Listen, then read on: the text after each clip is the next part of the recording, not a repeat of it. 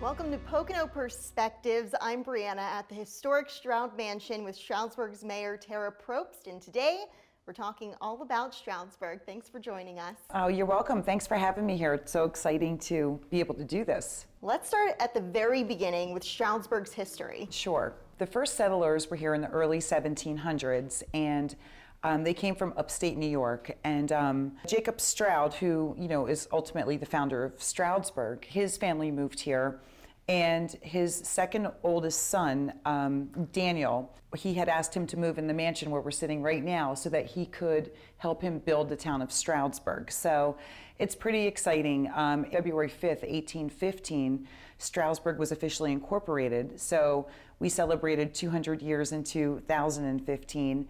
And in those 200 years, I was honored to be the first female mayor elected and then reelected. So it's pretty much an honor for me to say that really is a big honor. And when people come downtown Stroudsburg, they can still see a lot of those historic structures still yeah, standing today. They can, and um, well, we're in one of them.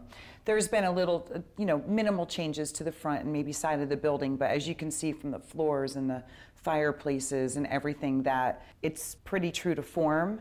Um, in the Hill District, we have, which is where um, our residential houses are, um, for example, my house was built in 1892, and I traced the deed back, and uh, it, was in script. It's in volume two in the courthouse. It's just so cool to know that these houses and these structures are still here, and and th that's the thing. It seems like back then, people took pride in what they did and built, and they were built to last. And so there's many, many beautiful buildings. Um, one of them being the JJ uh, Newberry, which was the first you know, department store. It's now Renegade Winery.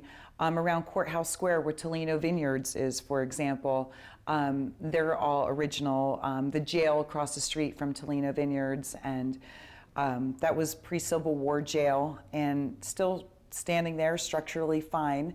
Um, when they say Courthouse Square, even though it's a circle, at one point it was a square. I've seen those pictures.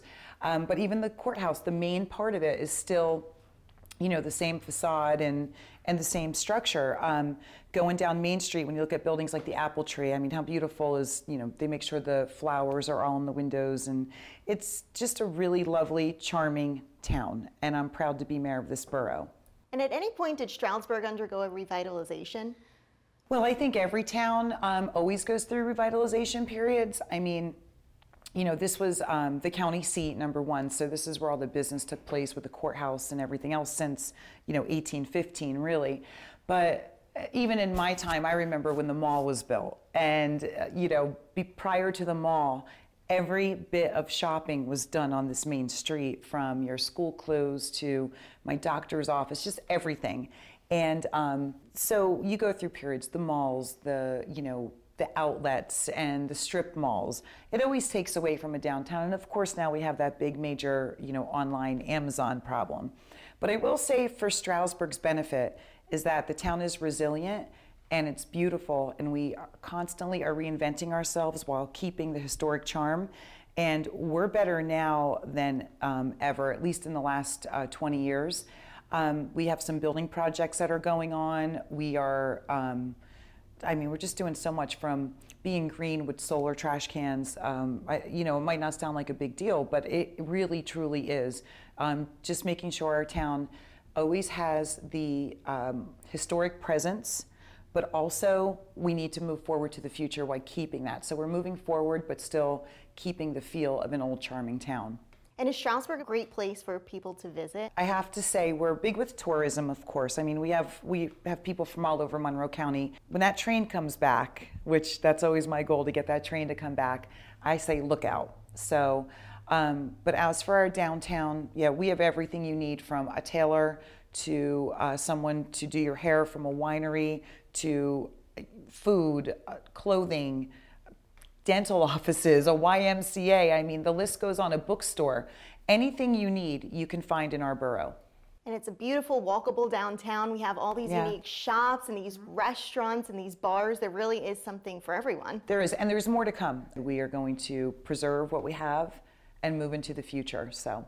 And in recent years, Stroudsburg has had new wineries, breweries, distilleries come to town, and it really just brings a new crowd downtown. It does. And you know, it, the, the beauty of it is when you think about it, we have, you know, when I was growing up, you'd hear people come in and say, "Oh, there's not enough culture," or, and and I agree. Growing up, you know, we had like one Japanese restaurant, for example, um, but now, fast forward from, I mean, from Thai, you know, Portuguese, French. I mean, you name it, we have it on Main Street or in this borough.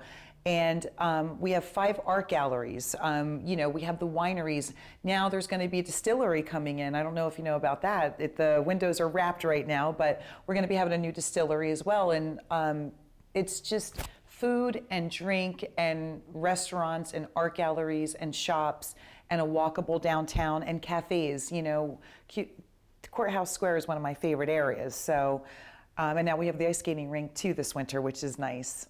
And we have a lot of festivals, Winterfest, Stroudfest. There's always something mm-hmm. going on in Stroudsburg there, that's family friendly. And, and, you know, the Sherman Theater is really a huge, huge help with that because um, they, I mean, that's a historic building, number one.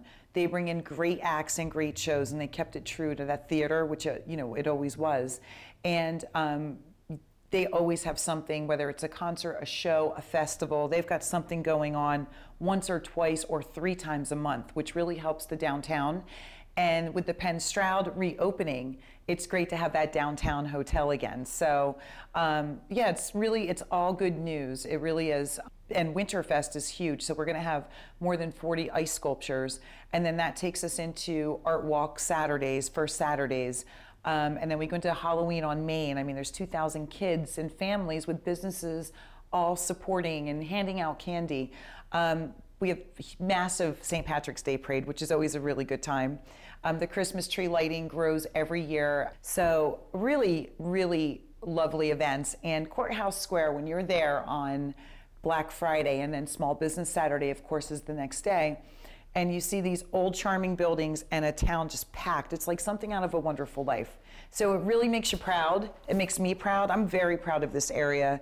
I'm very proud of our residents. I'm so proud of our businesses and our business owners that really go to work every day. They work really hard to give everybody a good experience. And I do believe that with the way things are going and the change of times, that people are starting to come back to town, starting to spend locally, starting to realize that if I don't go and support my local shopkeepers, then there might not be a downtown, and I love my downtown, so I'm going to do that. And um, that seems to be happening. I think that's a trend.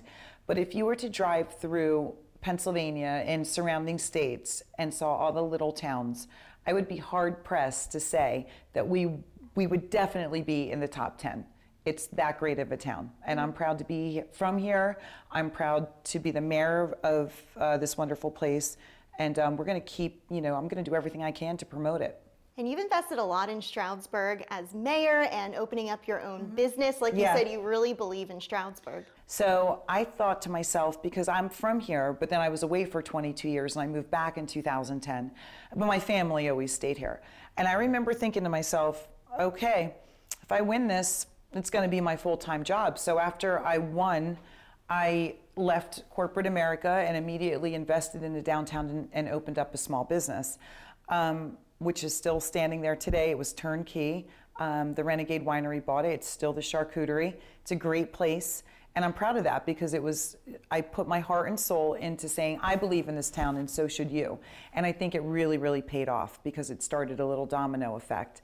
Um, but yeah, I'm not going to attach my name to anything that I'm not going to give 100% to. So whether it's this town, family, friends, if my name's on it, you have 100% of me. So um, we are really doing all we can. And Stroudsburg Borough, our borough council, we're we're all on the same page. It's so great to go to work, and everybody wants to just keep getting things done and moving forward, and um, and that's what we're doing. Where do you see Stroudsburg in the future? Um, I see it better than ever. What we've done over the last four years and what we plan to do um, is it's going to be amazing. You're going to see more places to live, more buildings, new apartments, um, walkable downtown, um, bike lanes. You're going to see it be so much. It's user friendly now, but you're going to see it be you know even more user friendly. And I truly believe that the Poconos and the surrounding areas, it's going to make a comeback the market is coming back, people are going to move back, and you know the one solid key to the success of all of Monroe County, including Stroudsburg, to make it the best it can be, is getting a train going again. And that could happen. It's happening in New Jersey. Um, it's happening 19 miles away from us. So there's no reason why we can't make that connection again. And when we do, this is going to be the place to live. You are 70 miles from the best city in the world, New York City.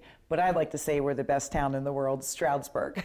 A lot of great things happening in Stroudsburg. Thank you. Mayor Tarah Probst, thanks Thank so you. much for joining us oh, today. thanks for having me. It was really great to be here. I appreciate it. Of course, thanks for watching this edition of Pocono Perspectives. We'll see you soon.